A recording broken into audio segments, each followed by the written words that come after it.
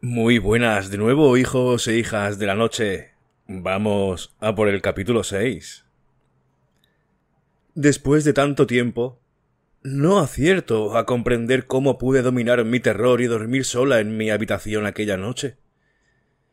Recuerdo perfectamente que puse el amuleto debajo de mi almohada y que me dé casi inmediatamente dormida, con un sueño mucho más profundo que la noche anterior. También la siguiente noche fue tranquila.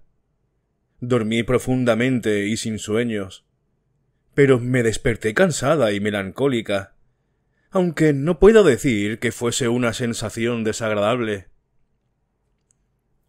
También yo he pasado una noche magnífica, me dijo Carmila por la mañana. He cosido el amuleto a mi camisón. La noche anterior lo tenía demasiado lejos Estoy segura de que todo es pura imaginación. Creía que los sueños eran engendrados en nosotros por el espíritu del mal. Pero el médico me dijo que no es cierto. Se trata de una fiebre o una enfermedad que llama a la puerta, y al no poder pasar deja aquella señal de alarma. ¿Y por qué crees en la eficacia del amuleto? Supongo que está empapado de alguna droga que sirve de antídoto contra la malaria. Pero ¿actúa solamente sobre el cuerpo? Desde luego. ¿Crees que los espíritus maléficos se asustarían de unas cintas de colores o de un poco de perfume barato? No, seguro que no. Esos males flotan en el aire. Atacan primero a los nervios y luego infectan al cerebro. Pero antes de que puedan instalarse definitivamente, el antídoto entra en acción y los destruye. Estoy convencida de que ese ha sido el efecto del amuleto.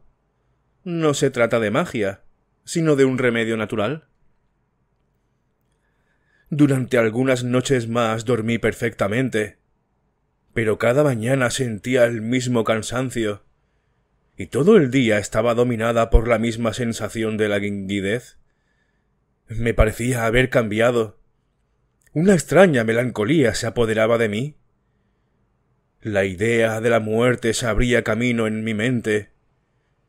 El estado en que me hallaba sumida era triste, pero también dulce. Y de todos modos, fuera lo que fuese, mi alma lo aceptaba. No quería admitir que estaba enferma, ni decírselo a mi padre, ni llamar al médico. Durante aquellos días Carmila me prodigó sus atenciones mucho más que antes, y sus momentos de exaltación fueron también más frecuentes. Sin darme cuenta la enfermedad se había apoderado de mí. La enfermedad más extraña que jamás haya afectado a un ser mortal. Me acostumbraba cada vez más a la sensación de impotencia que invadía todo mi ser.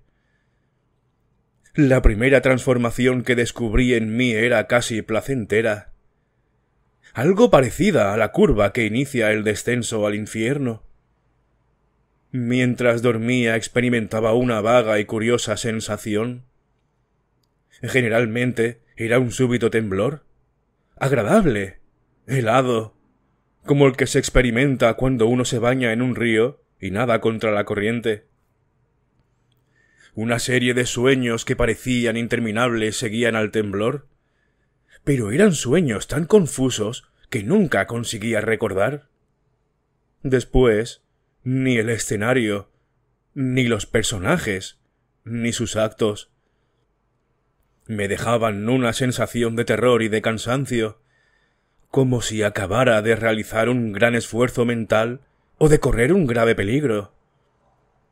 Los únicos recuerdos que me quedaban de todos esos sueños eran la sensación de haber permanecido en un lugar tenebroso, la de haber conversado con gente a la que no podía ver, y el eco de una voz femenina tan profunda que parecía hablarme desde muy lejos. Una voz que me intimidaba y me sojuzgaba siempre. A veces sentía el roce de una mano que me acariciaba las mejillas. Otras, la presión de unos labios ardientes que me besaban, más apasionadamente a medida que los besos descendían hacia mi garganta. Allí sentía el último beso. Mi corazón latía más deprisa, mi respiración se hacía más entrecortada. Luego experimentaba una sensación de ahogo y, en medio de una terrible convulsión, perdía la conciencia. Estos terribles hechos me sucedían ahora tres veces a la semana y dejaban en mí una profunda huella. Estaba pálida. El círculo morado que rodeaba mis ojos era cada vez más visible y mi languidez aumentaba día a día. Mi padre me preguntaba frecuentemente si me encontraba mal, pero con una obstinación que ahora me parece inexplicable, le aseguraba una y otra vez que estaba perfectamente bien. En cierto sentido, era verdad. No sentía dolor alguno, ni podía quejarme de ningún malestar físico. Mi dolencia me parecía imaginaria y, por penosos que fueran mis sufrimientos, los cultivaba amorosamente y en secreto. Carmila se quejaba de sueños y de sensaciones febriles parecidas a las mías, aunque menos alarmantes. Si hubiera sido capaz de comprender mi situación, habría pedido ayuda y consejo de rodillas pero el narcótico de una influencia insospechada obraba en mí y mis sentidos estaban embotados. Hablaré ahora de un sueño que me condujo a un extraño descubrimiento. Una noche, en vez de la solitaria voz que oía en el vacío, oí otra voz más dulce y más tierna, y al mismo tiempo más terrible, que decía ¿Tu madre te advierte que tengas cuidado con el asesino? En el mismo instante apareció inesperadamente una luz y vi a Carmila de pie cerca de mi cama, embutida en su blanco camisón completamente manchado de sangre. Me desperté sobresaltada, convencida de que Carmila había sido asesinada. Salté de la cama pidiendo socorro. La señora Perrodon y la señorita Lafontaine salieron de sus habitaciones, alarmadísimas, y encendieron una lámpara del rellano de la escalera. Les conté lo que me había sucedido e insistí en ver a Carmila. Acudimos a su dormitorio y la llamamos a través de la puerta. No respondió, a pesar de nuestros gritos, y el hecho nos alarmó a todas, ya que la puerta estaba cerrada por dentro. Regresamos a mi habitación y agitamos furiosamente la campanilla que había a la cabecera de mi cama. Si mi padre hubiese dormido en nuestro mismo piso, le hubiésemos llamado inmediatamente.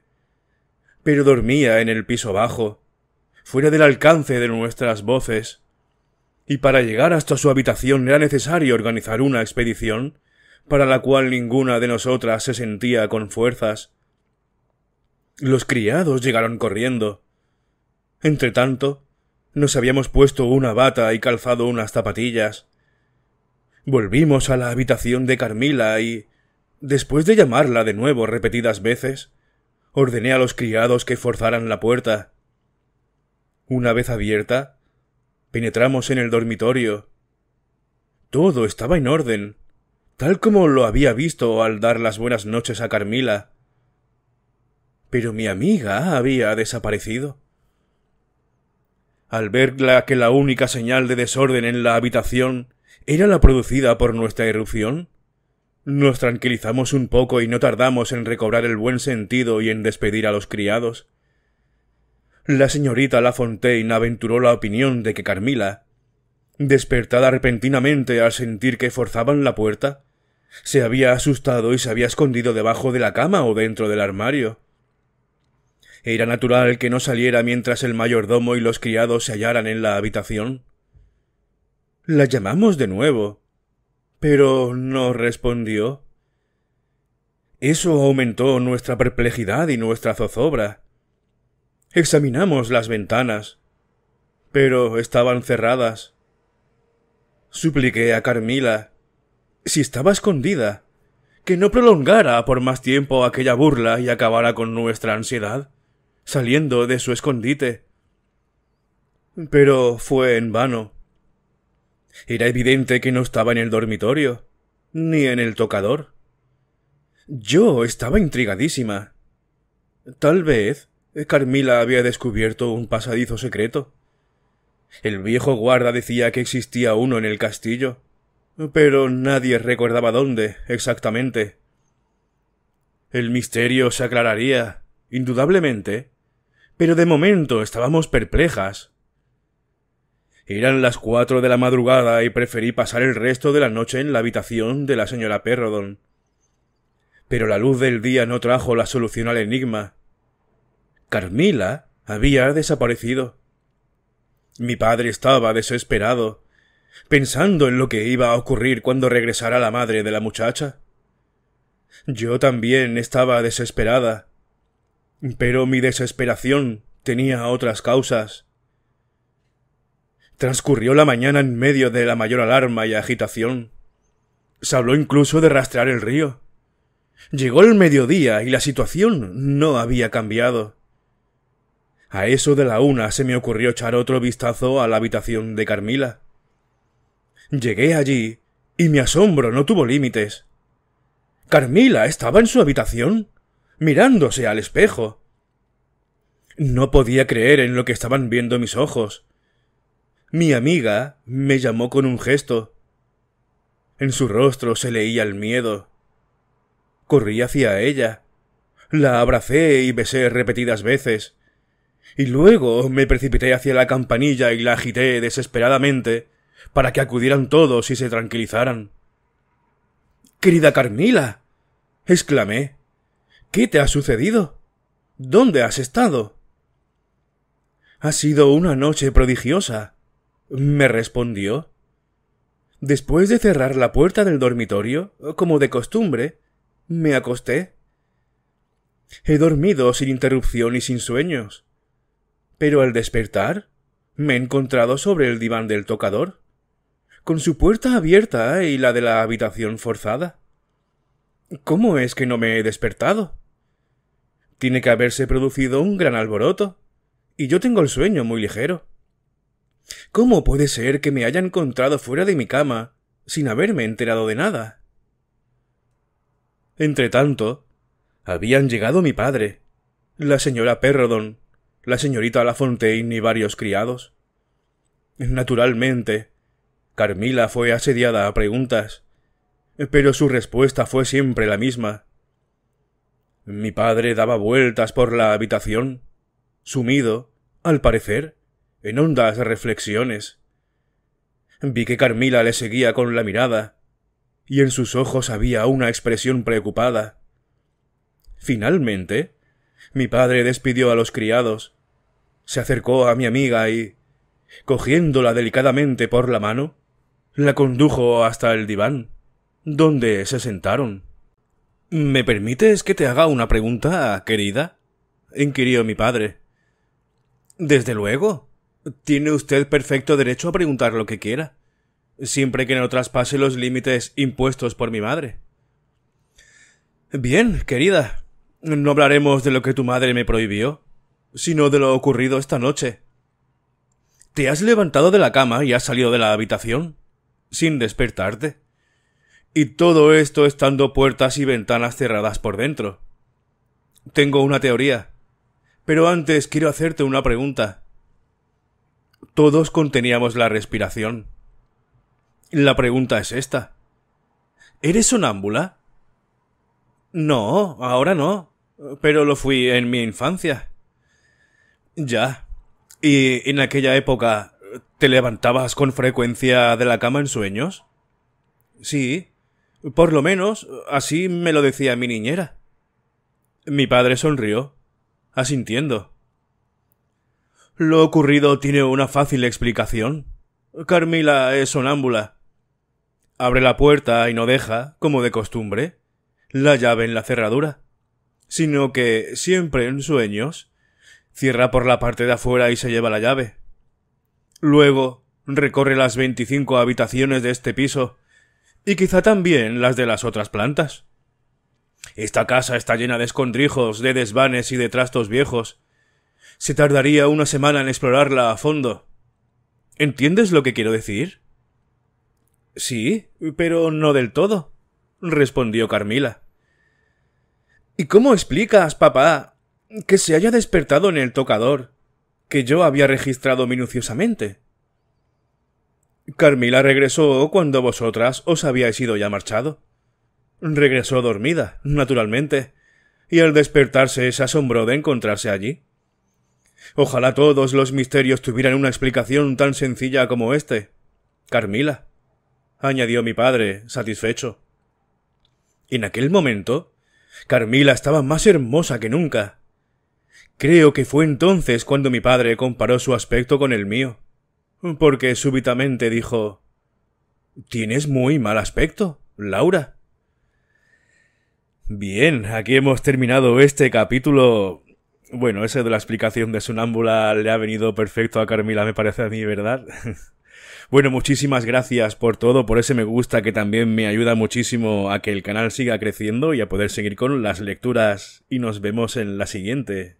Hasta luego.